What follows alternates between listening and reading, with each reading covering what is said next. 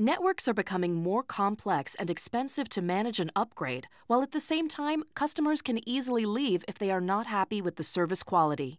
So, service providers are beginning to move to cloud based networks to save costs, automate network management, speed up time to market for new services, and improve the customer experience. RADCOM's service assurance platform is a service provider's eyes into the network, making sure that subscribers receive a top level service. Joining me today is Rami Amit, Radcom's Chief Technology Officer and Head of Product. So, what is unique about Radcom's solution?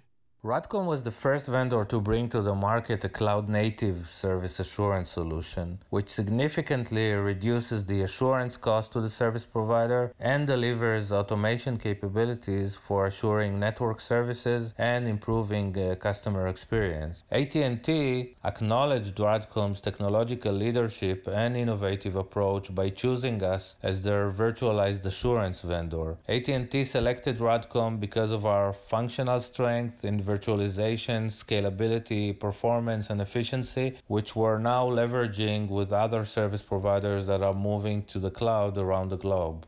And where do you see the move to the cloud leading? Cloud based networks and virtualization are core fundamentals for 5G. We believe that this transition to 5G will present many new use cases, and all of these changes in technology evolutions will need to be assured, which is exactly where RADCOM comes into play. Migrating to virtualized networks brings many new challenges to service providers, so they'll need to work with an experienced cloud vendor as their service assurance partner to make this a seamless transition as much as possible while constantly delivering high quality services to their customers. That was Rami Amit. Learn more at radcom.com.